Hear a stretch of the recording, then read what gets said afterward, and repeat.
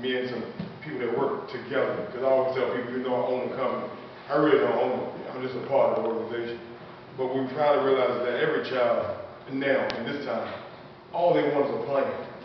And what we did with these six kids um, today, and that's one of the things that we're doing now with our motorcycle club is, I think five, six, seven, about seven years ago, I got into some, and I got into some issues, some troubles, and some things that came about in my life.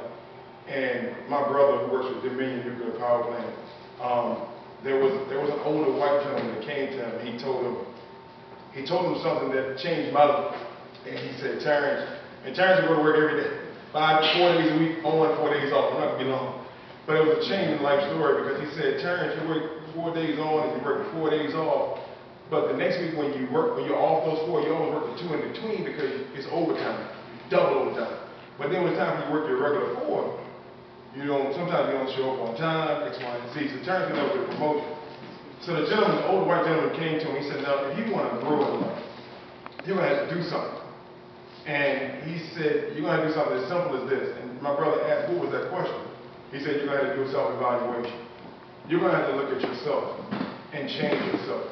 And once you change yourself, the people around you change.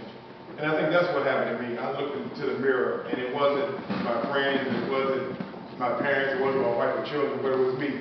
When I realized that if I can change, then the people around me can change. And if I can change, I can help these children change. Because, like I tell everyone, most of the people in this room, you may not know me, but I know you. You raised me in some sense, whether you be black or white. You did. You know, I, I was raised up in Pocahontas. I was raised up walking in Pope's family store right in, in up here in Main Street. I remember when this was the Baker Wakefield Waverly. I remember walking downtown Waverly.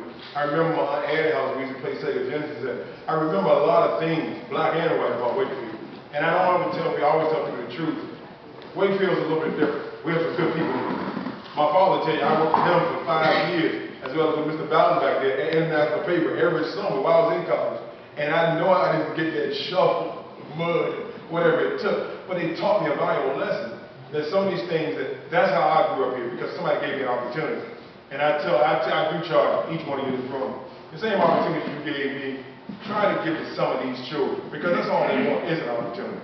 If you give them an opportunity, you give them a chance, I promise you, I promise you, because that's all they're asking for. When I talk to them, they're not talking about fighting anymore.